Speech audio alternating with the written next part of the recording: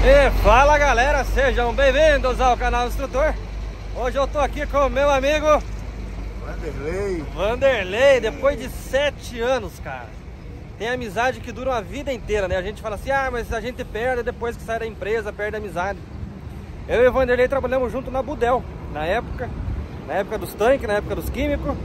E a gente nunca perdeu contato, independente da empresa que a gente trabalhou. A gente sempre permaneceu aí nessa parceria não é, Vanderlei? Verdade, meu amigo. E hoje... das barrigas de aço, né?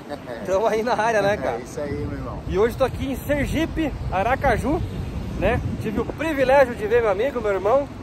Fizemos aí um tour aí na cidade, aí conhecendo aí. Não tem o que falar, é sensacional, é coisa que só tem pra cá mesmo. É coisa que a gente leva pro resto da vida agora. Vanderlei vai junto com a gente aí agora, aí na lembrança da cabine aí.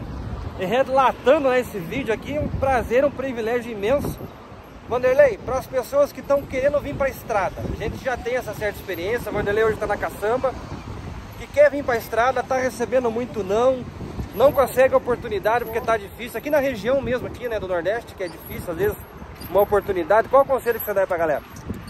Ah, Marlon, assim, né, cara? A persistência é tudo, né? Você tem que persistir até chegar a sua, a sua oportunidade. E vai chegar, cara. Chega. Vocês têm que ser persistentes.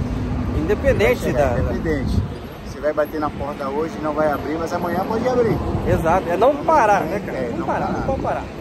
Como é que é o nome da Vossa Excelência? Da sua esposa? Danique. Danique, um beijão muito grande para você, vencedora, guerreira. Adorei a sua história. Somos irmãs já de coração, hein? Vanderlei falou muito bem de você, um cara apaixonado por você aí, é 100%, viu? Aí, show de bola, 100% família e tamo junto. Valeu, galera.